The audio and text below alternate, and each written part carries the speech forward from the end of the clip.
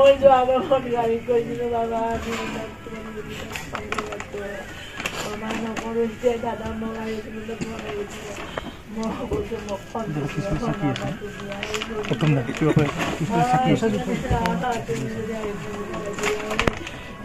ঘটনাটি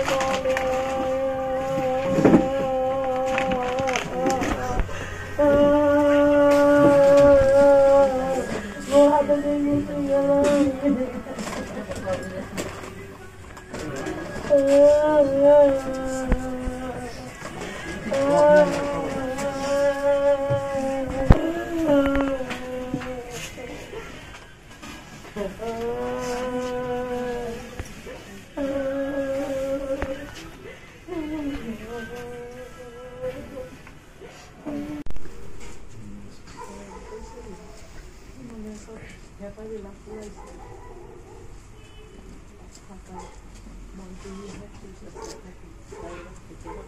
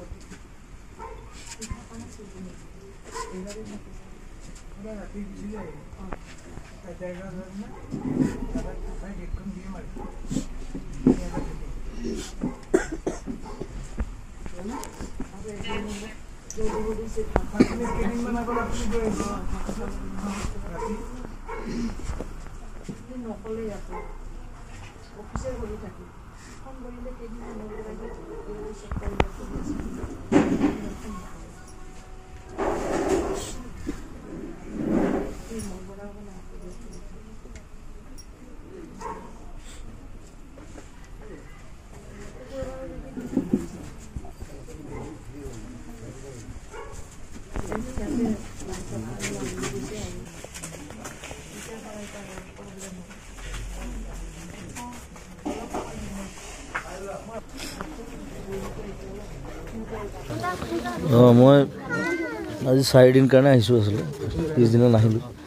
আৰু ৰূপৰ কথা কি কওঁ সেই আহ, মোৰ লগতে থাকে প্ৰত্যেকটো কামত এজন প্ৰধান সৈনিক বুলি ক'ব লাগিব। চ' এইটো আকস্মিক এটা ঘটনা। আৰু মই ইয়াত নাছিলোঁ মই গৈছিলোঁ আৰু যোৱাৰ আগৰ তিনিদিন সি মোৰ লগতে আছিলে ষ্টুডিঅ'ত। চ' তাৰ স্মৃতিটো সদায় থাকিব আমাৰ লগত। আৰু সি ভাল ভাল কামত সদায় আমাক সহযোগ কৰিছিলে। সেইটো আমি এতিয়া মিছ কৰিম। আৰু সদায় মনত ৰাখিম মোৰ ওপৰত হস্পিটেলত মই তিনিদিন মোৰ লগতে আছিলে। তাৰপিছত তাৰপিছত মই আছাম গুচি গ'লোঁ। তাৰপিছত মই যিদিনা ৰাতি ঘূৰি আহিছোঁ সেইদিনা সি হস্পিটেলাইজ হৈছে মই ৰাতিপুৱাহে খবৰটো পালোঁ। চ' অলৰেডি তাক লৈ আহিলে ইয়ালৈ। সেইকাৰণে মই চাৰিদিন তিনিদিন ৰৈ দিলোঁ আৰু। চাৰি তাৰিখ চাৰিদিন পিছত যাম। চ' আজি সেইকাৰণে আহিছোঁ আকৌ আহিম মই সাতাইছ তাৰিখে চান্দত আহিম। দাদা তেওঁ এটা আপোনাৰ কাৰণে গান লিখিছোঁ এই গানটো আপুনি সেইটো আমি প্লেন কৰিছোঁ এতিয়া কৰি দিম কৰি দিব লাগিব। মাৰ্চত তাৰ বাৰ্থডে দিনা ৰিলিজ কৰিম বুলি কৈছে। চ' শেখৰ আৰু মই কথা পাতিছোঁ। আমি অতি শীঘ্ৰে গানটো কৰি ৰেডি কৰি দিম।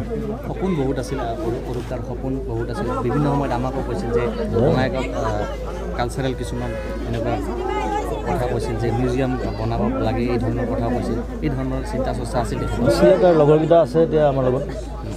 আমি কথা পাতি ল'ম কি কৰিব পাৰোঁ চাওঁ কৰিম যিমানখিনি পাৰোঁ। বঙাইগাঁৱত অৰূপদাৰ কাৰণে স্মৃতি থকা কিবা বস্তু। চাওঁচোন চিন্তা কৰি চাওঁ স্পেচিয়েল মমেণ্ট দাদা। থেংক ইউ হৈ যাব।